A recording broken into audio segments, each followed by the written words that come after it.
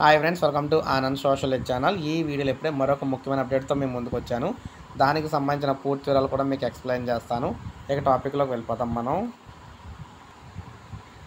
పత్రాలు ఇచ్చారు పనులు మరిచారు. విద్యుత్ సౌకర్యము లేదు. టిట్కో లబ్ధిదారుల అవస్థలు. కనీస వస్తువులు కూడా కరువు. సో చాలా ప్రాంతాల్లో టిట్కోయిలు అయితే పంపిణీ చేయడం అయితే జరిగింది కదమాట అయితే టిట్కో పంపిణీలో పత్రాలు అయితే పంపిణీ చేయడం అయితే జరిగింది. కానీ ఆ ఇళ్ళకు సంబంధించి అటు కరెంటు కానీ ఇటు రోడ్లు కానీ ఇటు వాటర్ కానీ ఫెసిలిటీస్ అయితే కల్పించలేదన్నమాట. ఎవరికి అనుమతి కూడా అయితే ప్రజెంట్ అయితే ఇవ్వలేదు. కొత్త ప్రభుత్వం ఏర్పడిన మూడేళ్ళు దాటింది.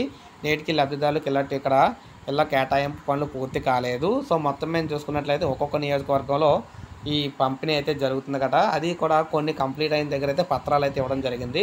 కానీ వారిని లోపలికి అయితే వెళ్ళనివ్వలేదు.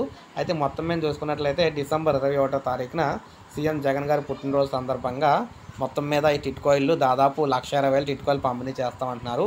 కానీ ఇక్కడ వస్తువులు చూస్తే మాత్రం ఇంకా వస్తువులు అయితే పూర్తి అయితే అవ్వలేదన్నమాట.